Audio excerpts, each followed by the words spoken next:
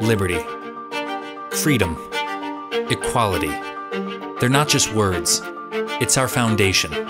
It's who we are, it's in our DNA. The pursuit of happiness. It's what we fight for, what we strive for. It's what we stand for. In the world's greatest experiment of self governance, we're learning as we go. Our children are the caretakers of democracy. What they're taught shapes the destiny of our nation. Now ask yourself what's your child learning?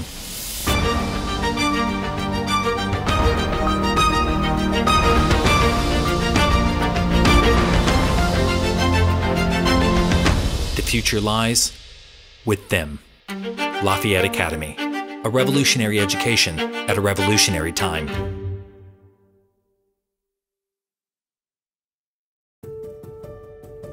I think sometimes we underestimate how much school programs our children's minds because they're here for eight hours a day, which is more typically than they're with their parents at home on a school day.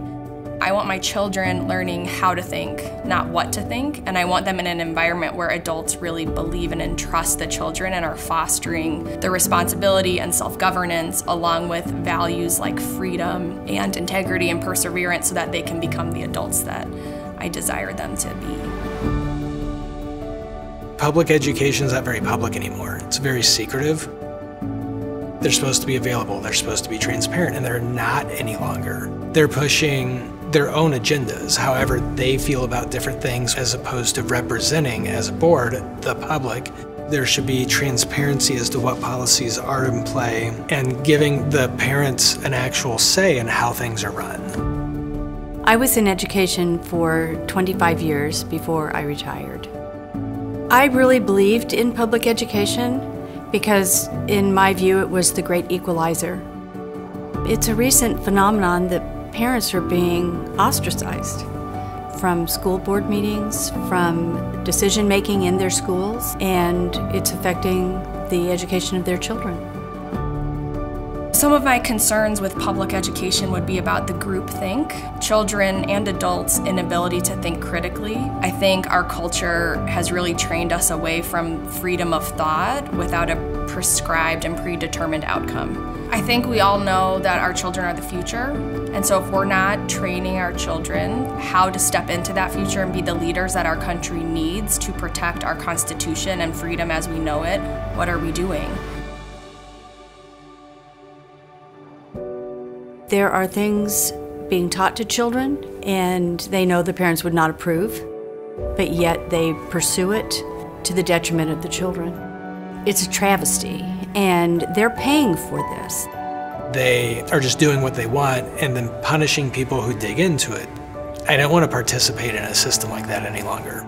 I want my children to grow up to be leaders, and so to do that, they can't be in a system that's designed to create followers.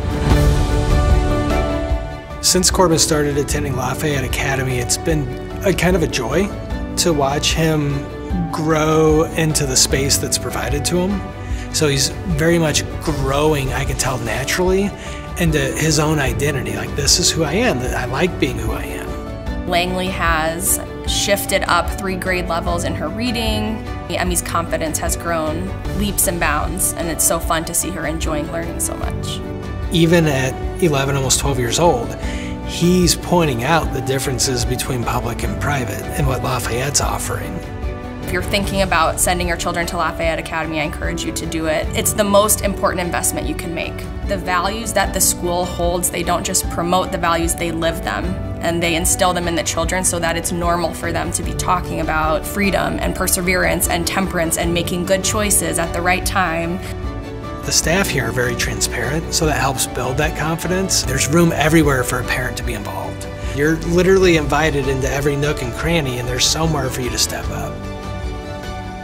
It's important right now for anybody who is able to support this endeavor because it's critical for our society. We really need people to assist with this movement because it actually is so much bigger than just this being a school.